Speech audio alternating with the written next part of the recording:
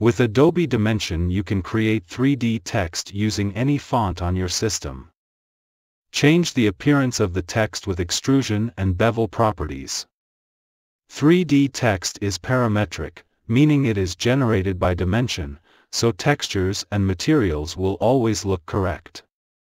3D text can be positioned in the scene, and other 3D objects can be added to create a final composition. To create and edit 3D text. Select the Text tool, then click in your scene to add text or click OM Text in Basic Shapes panel. Text tool has two construction method for creating text. Stamp mode, create a shape with default properties and uniform scale. Click and drag to change text size. Extrusion mode, click to enter text. Drag to change text extrusion depth. Click and confirm extrusion depth. Go to Properties Transform to edit text, position, rotation, scale and size. Go to Properties Object to edit the text, extrusion, and bevel settings. Go to Properties of Material to apply and edit the appearance of the text. Materials for 3D text. 3D text objects have material regions defined for the face, back, sides, and bevel areas of the text. The regions will be preserved even when changing the text and bevel properties. If you want to apply different materials to each glyphs of your text you need to convert text to standard model from action panel icon. Then you can apply separate materials to each separate glyphs.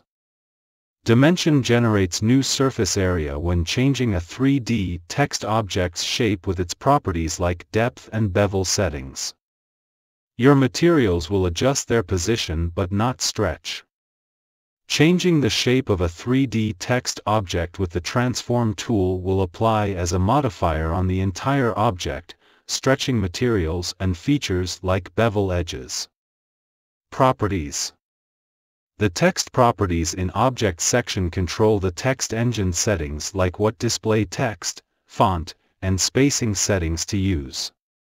Text properties. Text. The display text to use. Press enter on the keyboard to insert a line break. Then you can add second line in your text. Click on Move to Ground in Action panel for positioning text on the ground. Font family. The font family used to create the 3D text object. Dimension will display from all fonts installed on your system. Fonts in the same family will be displayed in a group. Font family. Use favorite to set fonts to use with the favorite filter. Font style. Select a font style from the current font family, such as italic, bold, narrow, or other variations. Not all font families support multiple font styles. Character spacing uniformly changes the horizontal space between all characters in the 3D text object.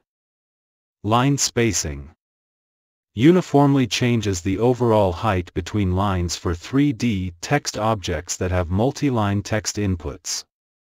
Alignment controls the distribution of lines and characters relative to the pivot. Align text left, center and right. Size.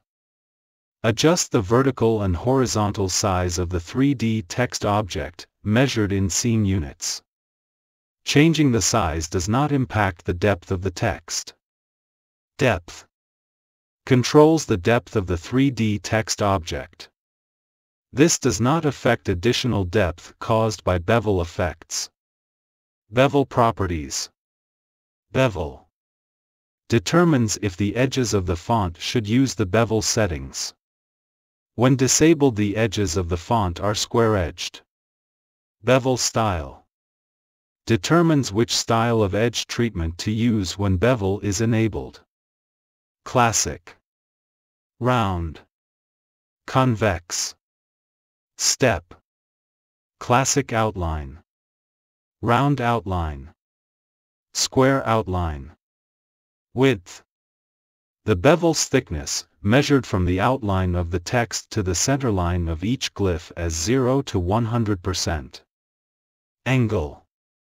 The bevel angle, measured from the base of the glyph to the edge of the bevel as 0 to 100%. Repeat controls the number of times the bevel is applied across the width distance, from a range of 1 to 10. Space controls the amount of space between each repeated bevel, as a range from 0 to 100%. The depth of the bevel, how far it extrudes away from the base of the text, is automatically controlled based on the other properties. For example, increasing the bevel angle or the number of repeated bevels will adjust the depth automatically to retain the width and angle settings. Changing depth from transform widget will affect the depth of material. Dimension supports rendering glyphs for most languages. Full list of supported languages you can find in online user guide.